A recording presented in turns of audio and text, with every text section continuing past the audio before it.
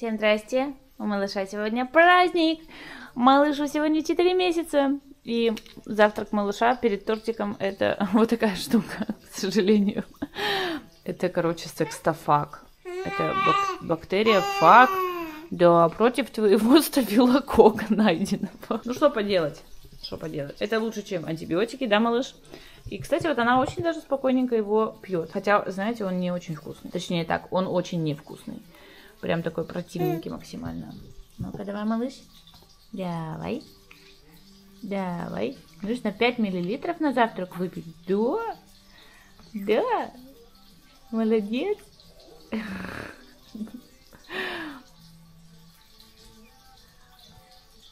В общем, кто следил в Телеграме за всей этой историей, тот знает, что произошло. У малышки были такие симптомы не очень. В общем, она на груди прям вела себя очень беспокойно, стул был не очень хороший, и вес набирала не очень хорошо за последние два месяца. Вот, и мы решили сдать анализы. Сдать анализы, обнаружился у нас, не у нас, у Миры стафилококк. И как бы в целом, как мне педиатр рассказала, если бы мы его просто обнаружили и не было никаких бы клинических симптомов, то все хорошо, ребенок там никак не проявляет э, недовольство жизнью, то его и не надо было бы лечить, то есть там он в нашей флоре может находиться, организм может с этим справляться, но когда уже набора веса вот так вот касается и того, что она реально там плохо ест, это уже нехорошо. Поэтому на помощь пришел бактериофаг. Это относительно такая безопасная мера, то есть это не антибиотики, которые могут сразу назначить. Это вирус, который пожирает бактерии. Вот так вот. Поэтому, малыш, ты сейчас пьешь вирус. Как тебе эта информация? А там шкварчат на фоне блинчики. Блинчики. Все, ты все выпила, малыш, ты такая молодец. А, у нас сегодня максимально деревенский завтрак. Это чай из деревни, мама Дениса его собирает. Блинчики тоже от мамы, она нам заготовочки делает. И даже джем, яблоки с крыжовником тоже от мамы. Спасибо, спасибо. У нас сегодня весь э, день туманный и дождливый. У нас появилась цель на прогулку. Денис очень не хотел выходить в такую погоду. Ну, реально, все мокро, конечно. Ну, нормально. Не проливной дождь. Мы идем в ТЦ на фудкорт, чтобы попробовать новый напиток, взять его с собой и гулять с ним. Напиток, который уже очень популярен в Москве. По крайней мере, много кто о нем говорил. Я много откуда уже слышала о нем. Называется он Bubble Tea. И у нас еще в наших кофейнях особо его нет. То есть его хотели там где-то начать делать. А на фудкорте есть прям целая локация. Денису посоветовали, где там всякие вот эти вот намешиваются ингредиенты. Я вообще не знаю, из чего состоит этот напиток, если честно. По-моему, там есть точно тапиока. Насколько это вообще чай, не чай, на что он похож больше, кофе, на матчу. Очень интересно стало. Малыш уже спит.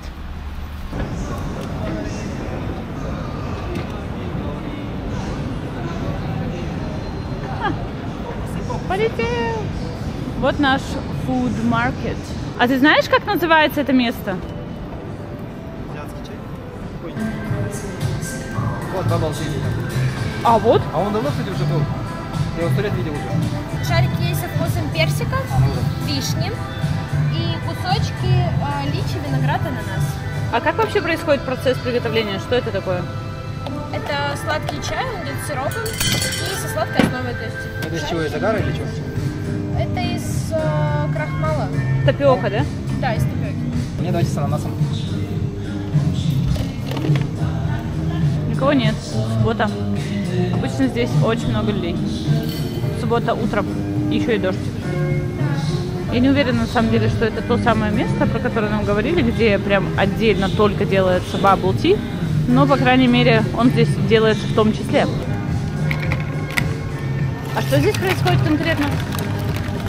Здесь чай смешивается с сиропом, здесь э, стаканчик запечатывается. А, то есть это просто печатано. Е. Спасибо. Всё. Ты оплатил, Давид? Почти ну так-то что, ничего такого прикольного не придумали? Шарики лопаются. Короче, наши выводы.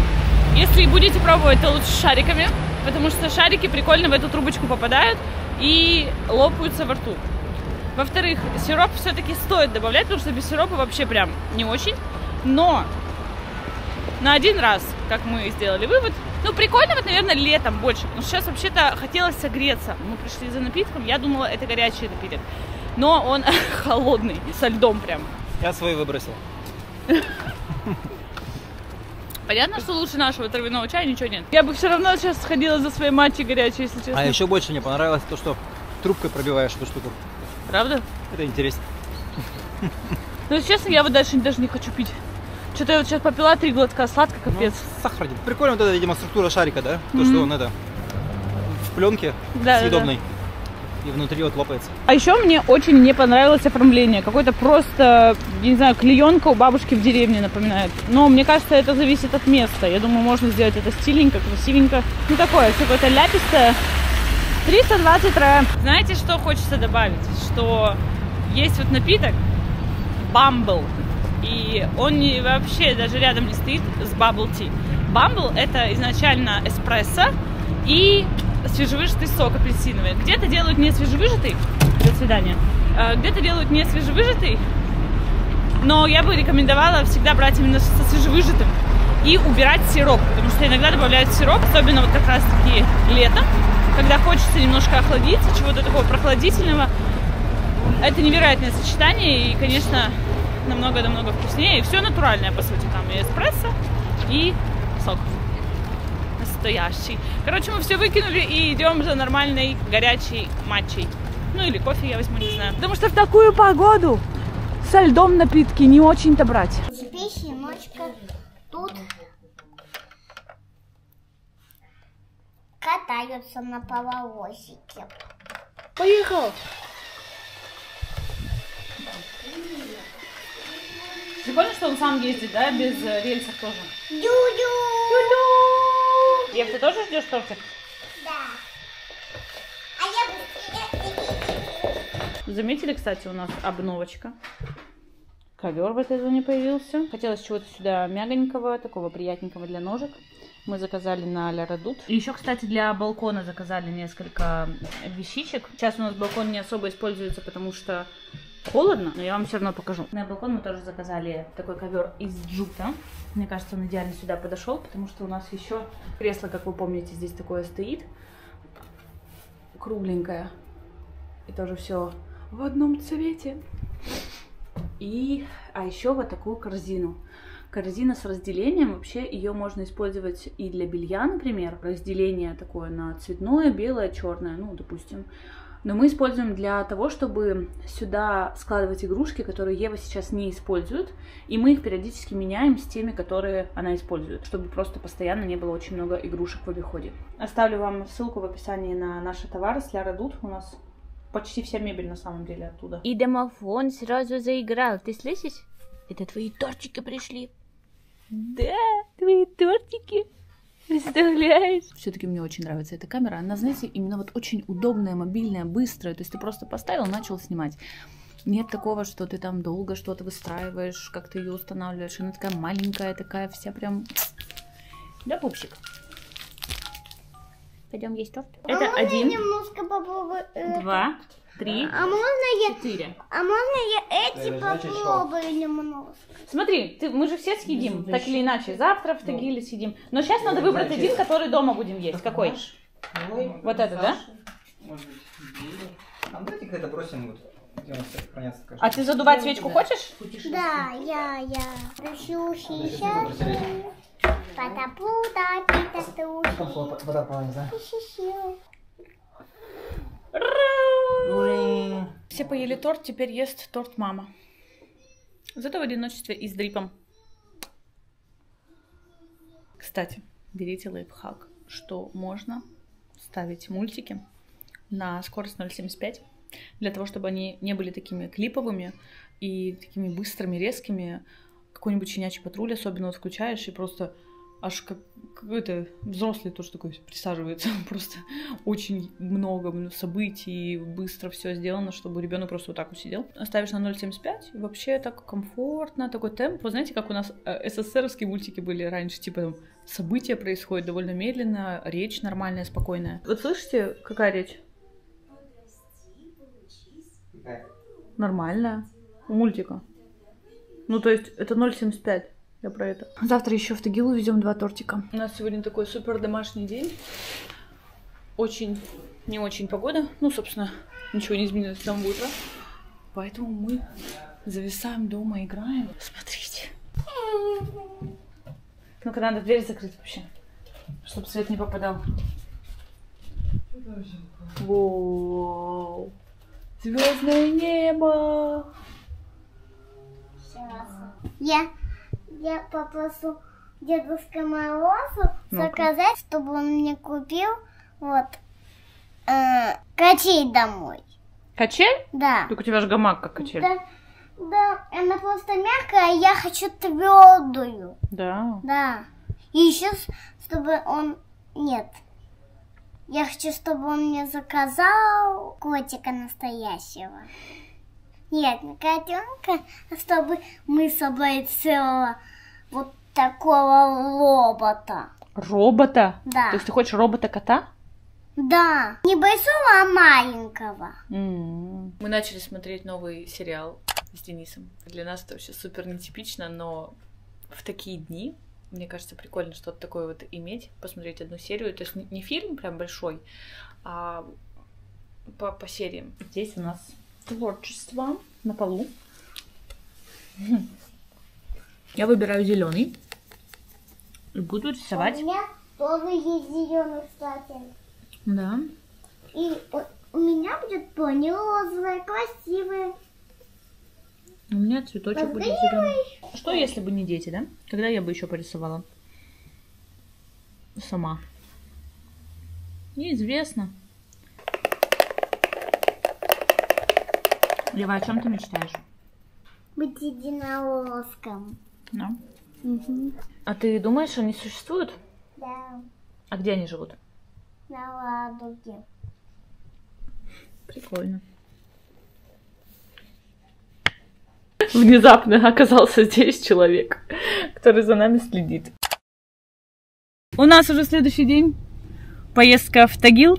И у нас обновление. У нас новое автокресло. Но не у нас, а у Миры. Мне очень нравится его цвет. Он такое шоколадное. Прям вписывается сюда идеально. Мне нравится, что оно разворачивается на 90 градусов ко мне, чтобы я посадила малышку, могла ее там поразвлекать, когда, например, мы останавливаемся где-то. То есть она э, должна вообще безопасно расположена быть спиной к водителю. Ой, идут наши люди.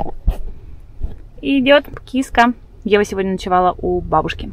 И сейчас я ее пристегну. Вот мне кажется, правда, уши у нее здесь загибаются, потому что вот эта штука такая тесная. Привет, киска! Как дела? Давай его сразу снимем. Куртку. Ой, Как, Ева, ты переночевала у бабушки? Хорошо. Понравилось? Да. Опять с Симкой спала? Да. Как у малыша тут развлекушки. Смотрите, как идеально поместились тортики в холодильнике. Прям вообще как будто для, для них создано было все. а он, кстати, уже охладился под рукой? Да, холодно Уже как быстро, да, нагоняет? Если бы у меня был с собой монтаж, я бы могла помонтировать, но я с собой ничего не взяла. Молодец, ты с нами. Я буду отдыхать. Я с тобой хочу.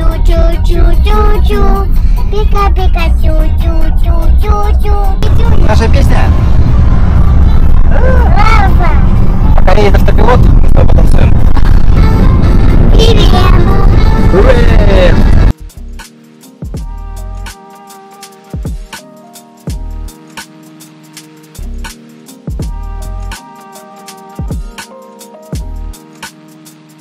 Тут моя школа будет сейчас. Вот видишь школа впереди?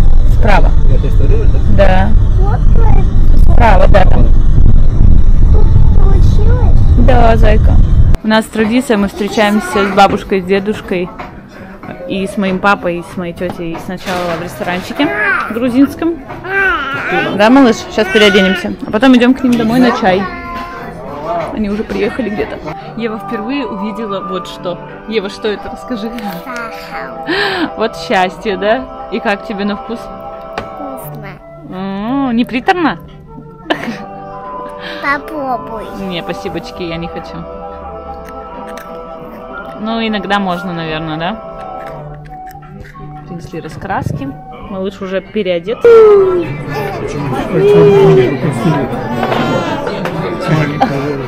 У нас уже первая часть празднования четырех месяцев завершена. И мы едем сейчас домой к бабушке.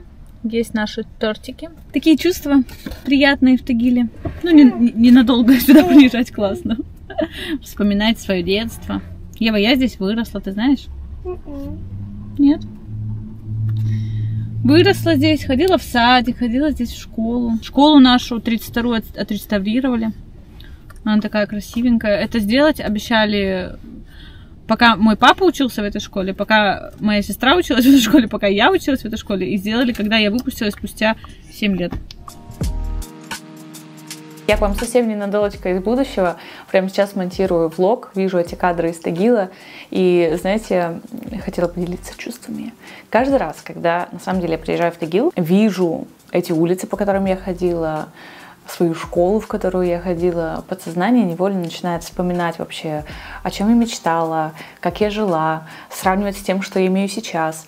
И я безумно благодарна всему, что со мной было. Ведь именно те обстоятельства, в которых мы жили, те люди, которые меня окружали, все вот это пробудило во мне желание искать свое любимое дело, изучать монтаж, вообще абсолютно как бы неизвестную, например, для меня сферу. Я помню, как я взламывала свою первую программу для монтажа. Все пробовала, набивала шишки. И на самом деле, несмотря на мой юный тогда возраст, я сразу уяснила, что надо просто больше делать, меньше думать, меньше переживать. Потому что как только ты начинаешь погружаться мысленно во все эти страхи, какие-то переживания, сомнения, все, ты уже не можешь ничего делать. И я помню, я обманывала свой мозг таким образом. То есть как только я чего-то начинала бояться, раскручивать там себя в голове, а вдруг, а что подумают вот эти, вот а что скажут эти, я должна была сфокусировать внимание на каком-то действии, научиться какой-то новой фишке монтажа, написать сценарий, короче, занять свой мозг чем-то другим. Потому что зачем что-то там придумывать, теоретизировать, если куда важнее просто делать и на практике понимать. Именно поэтому я всегда радуюсь, или мне это ценно, когда компании, с которыми я сотрудничаю, разделяют такой подход. Например, онлайн-школа Skill Factory, которая делает основной упор на приобретение реального опыта. Речь сейчас идет о курсе IT-специалист с нуля. Если вам кажется, что вы абсолютно ничего не понимаете в сфере IT, и поэтому это обучение вам не подойдет, то как раз-таки наоборот, обучение рассчитано для новичков, для тех, кто интересуется этой сферой, но пока не понимает, где себя конкретно там найти. В самом начале обучения вы попробуете 9 топовых направлений, и уже затем выберете одну профессию и начнете ее осваивать с самой базы, самых азов до продвинутого уровня. Очень здорово, что авторы курсов и менторы, практикующие разработчики из крупнейших IT-компаний, а с трудоустройством помогает карьерный центр Skill Factory. Если вы приобретаете курс в ноябре, то у вас будет возможность поучаствовать в крутом командном проекте. И это не только опыт решений задач от крупных компаний, но и готовое портфолио, что, конечно же, выделит вас среди других кандидатов. И еще одна хорошая новость напоследок, это то, что прямо сейчас у Skill Factory проходит Черная пятница, и по промокоду ПАСНОВА будет действовать скидка до 60%. Кстати, можно начать обучение прямо сейчас, а платить начать только через 3 месяца. Помните, что вложение в себя – это всегда выгодно, поэтому переходите по ссылке в описании под этим видео и осваивайте новую профессию. Skill Factory учит тех, кого берут на работу. Здравствуйте. Здравствуйте. И ты у бабушки на ручках, да? Кисонька. Агу. Понятно. Агу, да. Все, да все хорошо. Ты же бананчик маленький. Ты маленький бананчик. Да все здорово. Хорошо тебе сидится.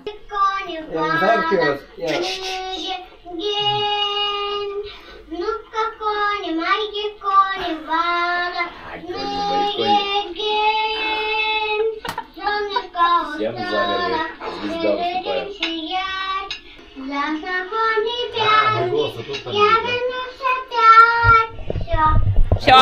Больше всего мне нравится все. В этом выступлении больше всего мне нравится все. Это было шедеврально, Сайка. Ты смеешься смешно.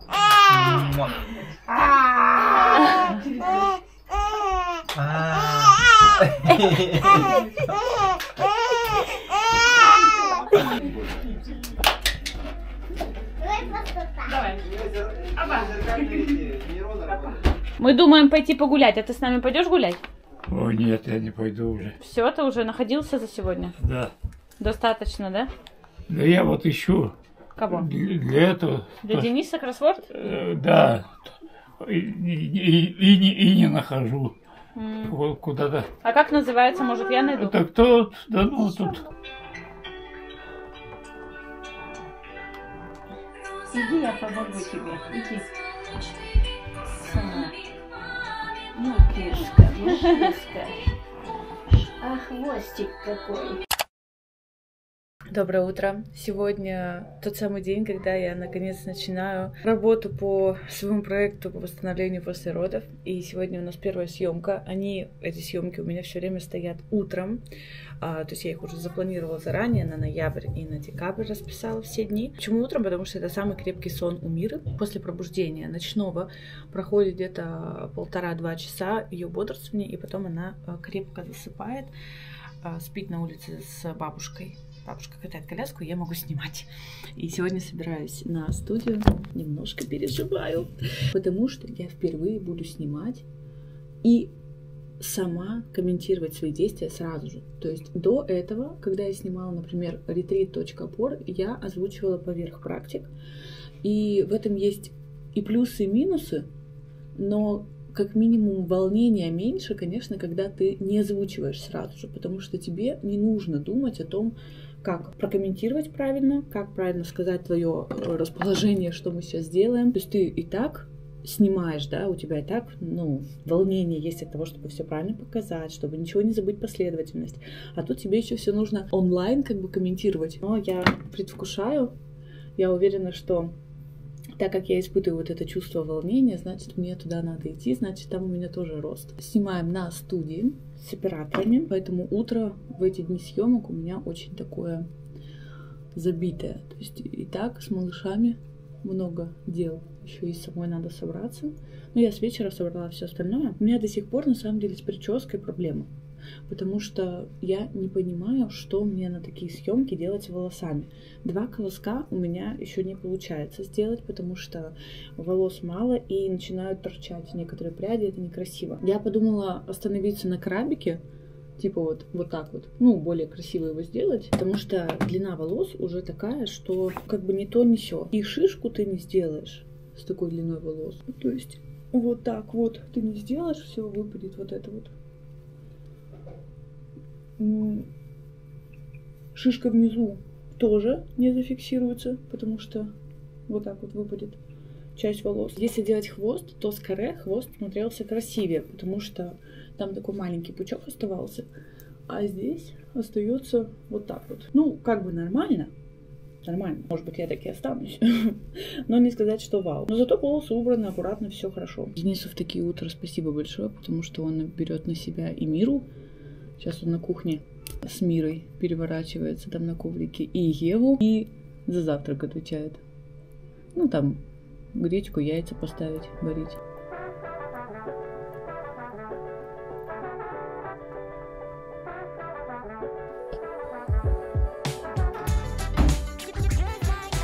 А можно, можно на кухню меня? Я очень кушать уже хочу. Пожалуйста. Хочу завтракать. Отвезите меня. Спасибо. Можно? Благодарю. А мы кура больше все любим. Нам-нам-нам, нам-нам-нам. Ты будешь прямо носками есть? Ух ты. Прикольное яйцо. Тебе понравилось яйцо, да? Чисто яйцо у меня не очень вышло. Допустим, я легла, и вот как сейчас слышно меня? Поговори. Поговорю, поговорю, раз, два, три. Так, хорошо. Нормально, да? Но если я вдруг что-то зажала, Единственное, ты ее можешь э, закрыть. не закрыть, э, лечь на нее, и может вот это вот шуршание. Ну да. Но оно не критично, вот когда ты слышишь. Вот сейчас я вообще не А, ну это вот ничего. максимум мой, да. Я включила запись. Я тоже. Мгм. И сегодня мы активизируем все наше тело. Я предлагаю начать с мягкой медитации настройки. А, Займи удобное положение на коврике. Это могут быть скрещенные голени. А, Главное, проверь свой таз, его положение, чтобы у тебя не было переразгибов поясницы, чтобы ты сидела вот прям ровно на седалищных буграх. И снова вдох наверх.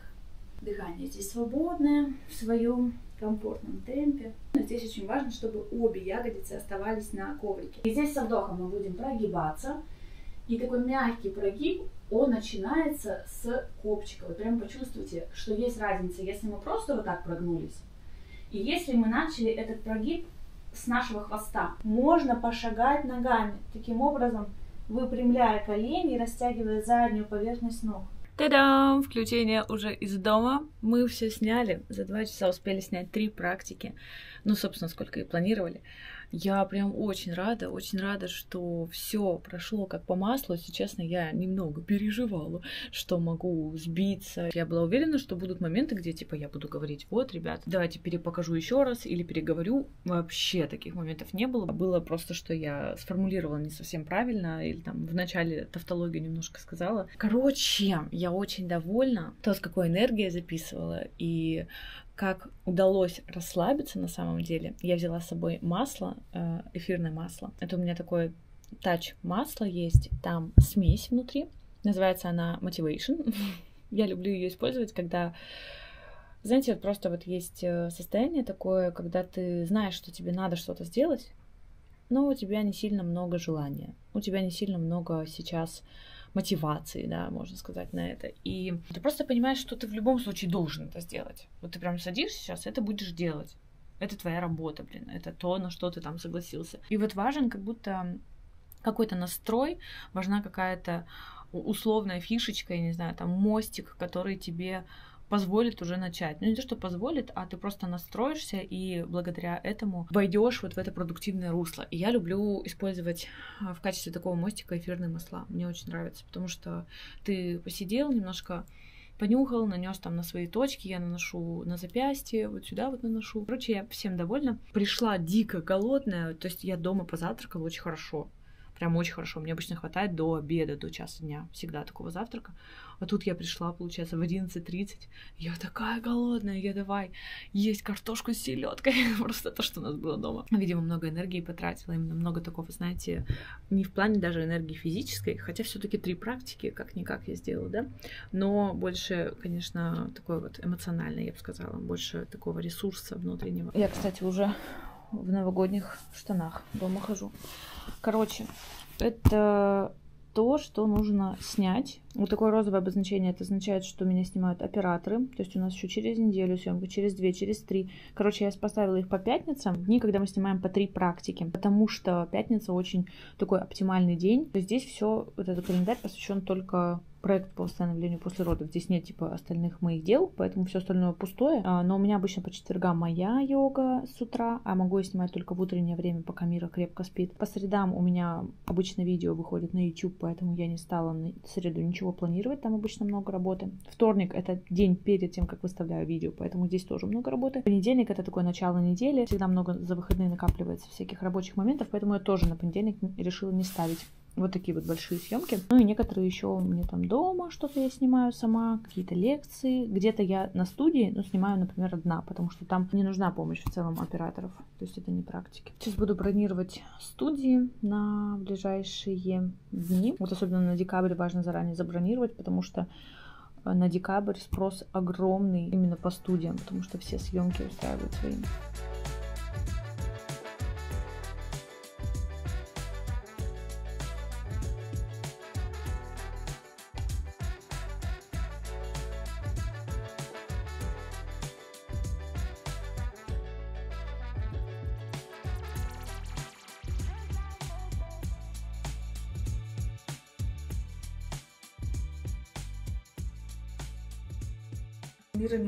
Есть э, закос тела в одну сторону.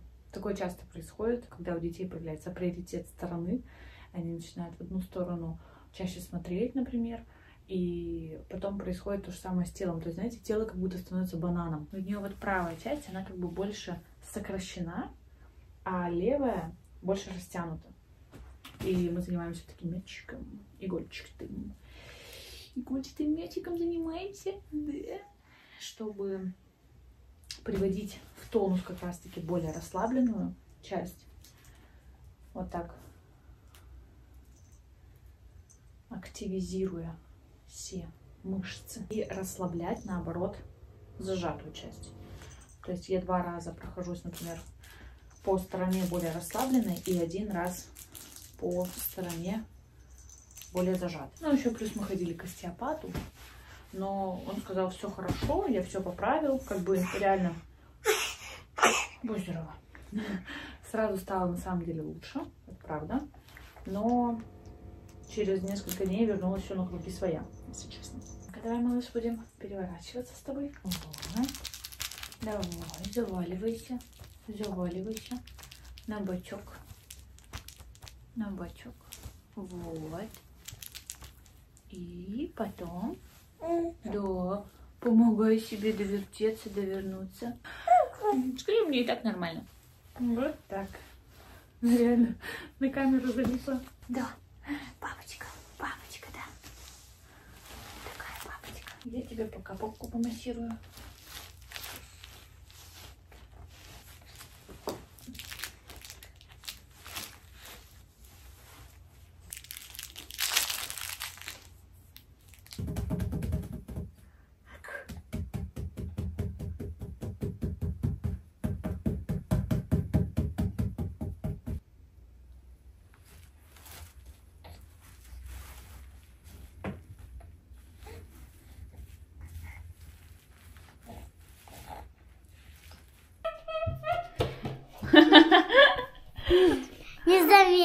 Заметила. Меня? Ты кто сегодня у нас? Лисичка. Это Эльза? Не знаю, похожа на Эльзу, кстати. Да. Да, это правда Эльза. Правда, Эльза, да? Да. Лисичка, садись кушать. Видишь, сама, у нее корона есть, Ну да. такая холодная, белые волосы, у нее за такие глаза. Похоже, да. И даже у нее такое платье. Значит, она Эльза. Белая шапка. Ты хочешь тарелочку переложить или отсюда будешь есть? Отсюда. Ну, супер. Твоя любимая клумба-колумба? Почему нам такие темненькие фалафели, да? Да. Почему? Так их А давай, Птичка, давай. Мира, давай, давай теперь. Давай теперь я буду просто лисичка. Давай теперь я буду просто лисичка. Давай. Я лисичка. Я лисичка. Ну, смотри, какие вы там выглядишь. Почетка?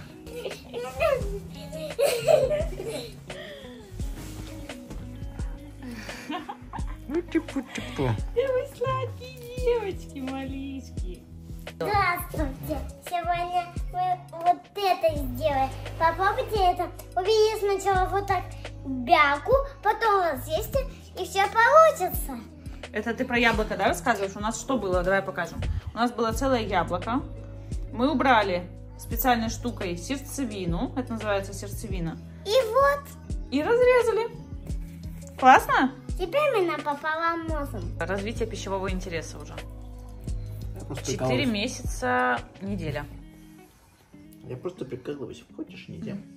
Хочешь? Бананчик кушать, бананчик. Ну Что вы, что вы. Пока нельзя.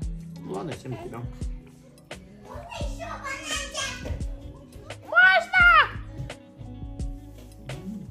Я сама возьму. Давай. А я твой кальмар доедаю.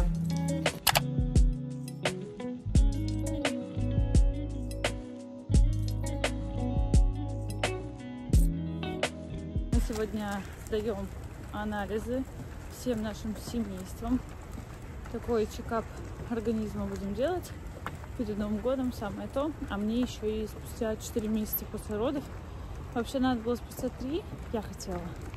Но я там немножко подпростыла, и а, мне нутрициолог посоветовала не сдавать в таком состоянии, ну понятно, немножечко не те были бы результаты. Сейчас уже все хорошо, и хочу посмотреть, как у меня там железо себя ведет, витамин D, ну там еще много всего. Покажу список полный, и даже Ева будет сдавать. Ева такая говорит, я смелая, Я не боюсь уколов. Посмотрим, что будет у врача в кабинете. Ты хочешь посмотреть, как мне протыкают кожу? Хорошо. Знаешь, помогает дыхание. Когда ты такой делаешь вдох, такой... И все. Работайте плохо. Мгм.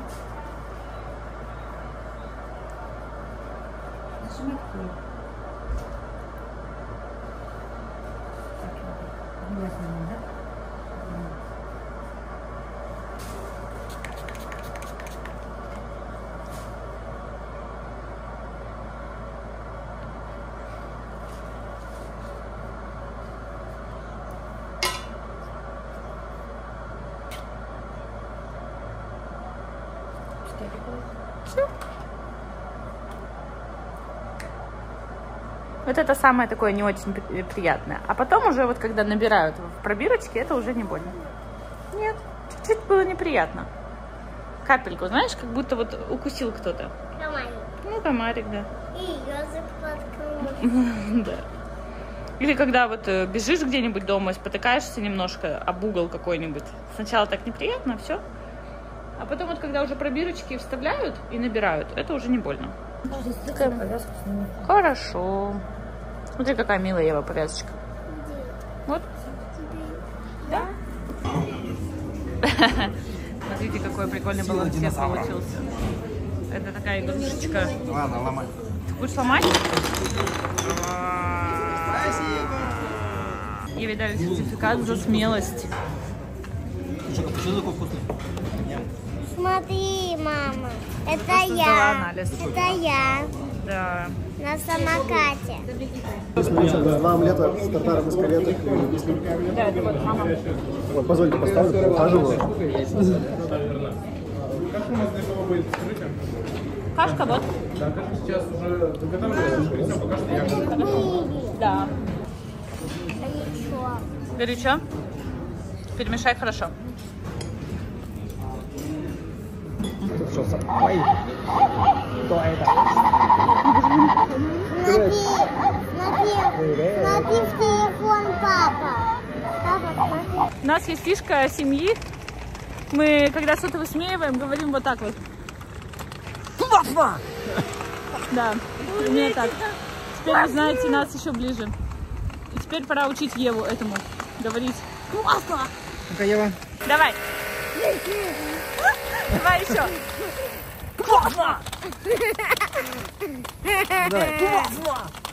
Кстати, не знаю, я показывала этот снегокат или нет, но он очень крутой тем, что ты его можешь вести как коляску. Здесь есть и колеса, когда еще снег не лежит очень э, большим слоем, и сами лыжи, и еще его можно как нормальный снегокат, вот так вот, оп, у нас вообще очень резко наступила зима. Сегодня утром было минус 10. И такой ветер просто лютый. Все сдувает. Бабушки.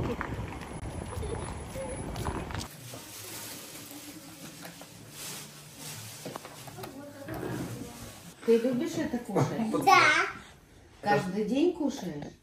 Ну, не Почти, каждый да? день, почти. Это желтое? Да. Банан. Да! Первого раза отгадала Балскаена. максимально нестандартная ситуация. Я записываю это видео из гардеробной. Вот здесь за стеночкой спит Мира, и поэтому я говорю шепотом.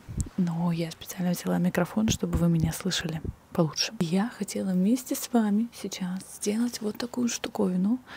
Это типа бегуди на ночь. Я в максимально домашнем виде и состоянии намазала мазь на свой прыщ, сняла линзы, надела очки, намазюкала на лицо всякие мази, сыворотки. Короче, у меня есть э, моя плойка Babyliss, и я ее обожала. У меня укладка держалась три дня. Я очень скучаю по кудрявым объемным волосам, но у меня нет на это времени. Поэтому я решила попробовать вот эту штуку. Эта штука должна за ночь делать вот так. Я сейчас хочу нанести Perfect Hair 15 в одном. Это такой несмываемый уход.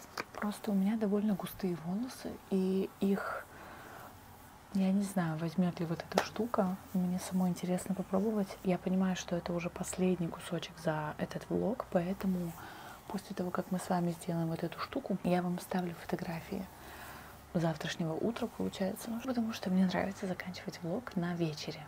Это как будто логичное завершение. Если я вставлю кусочки утра под конец этого влога, как-то будет непонятно. Я так не хочу. Вот так вот ее надели. Сверху закрепили ее крабом и просто с самого верха начинаем закручивать волосы до низа и внизу делаем вот такие резиночки. Видите, у меня еще волос не так много, то есть мне нужно было удостовериться, что эта штука подходит под такую длину волос но было написано, что подходит для длины от плеч и ниже. А у меня как раз ниже плеч. И типа вот эти бегуди, они мягенькие, и они поэтому не заламывают волосы. Все, нужно делать вот эту штуку. Ну, заняло это, конечно, полторы минуты. И такая милашка. Я вот не знаю, что с этой штукой делать. Наверное, логично ее укоротить, чтобы она не болталась вот так вот. Кстати, я все это снимаю на свой новый телефон. Я купила 15 iPhone Pro Max.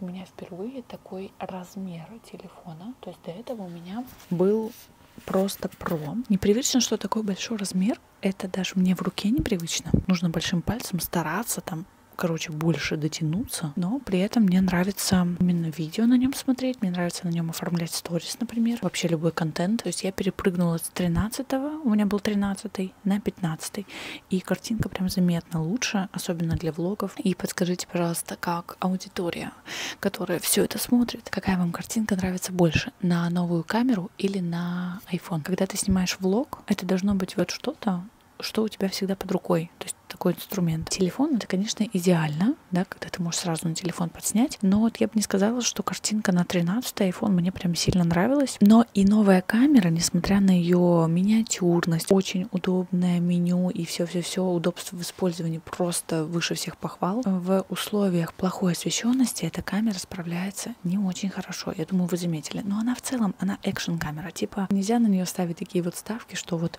она там должна супер качественно снимать, хотя там написано 4 4К. И я снимаю в 4К 60 кадров в секунду на этой малышке. Для себя я определила пока, что я буду комбинировать для влогов iPhone, именно 15 и вот эту малышку камеру DJI. Кто спрашивал у меня ее название, это DJI Osmo Action 4 их последняя моделька. Мне кажется, что в путешествиях этой малышкой снимать очень удобно камерой, потому что ты просто вот взял, чик-чик, одну кнопку нажал и поехали. И она снимает сразу большой угол, это очень удобно и красиво смотрится, но смотря для какого контента, да. Если ты хочешь что-то близко детально показать, нет смысла брать камеру вот эту. Лучше взять iPhone и увеличить немножко. Будет качество лучше, картинка передастся лучше. А для какого-то общего такого угла, например, когда снимаешь рум-тур, и если освещено хорошо помещение, то вообще круто. Я буду ложиться спать. Мне очень интересно, как я буду вот с этим вот. В тот момент, когда хочется максимально себе усложнить жизнь.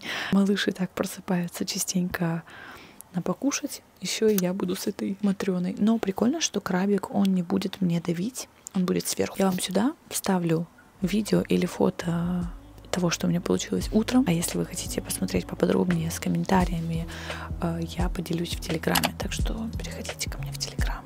Всех жду. Спокойной ночи.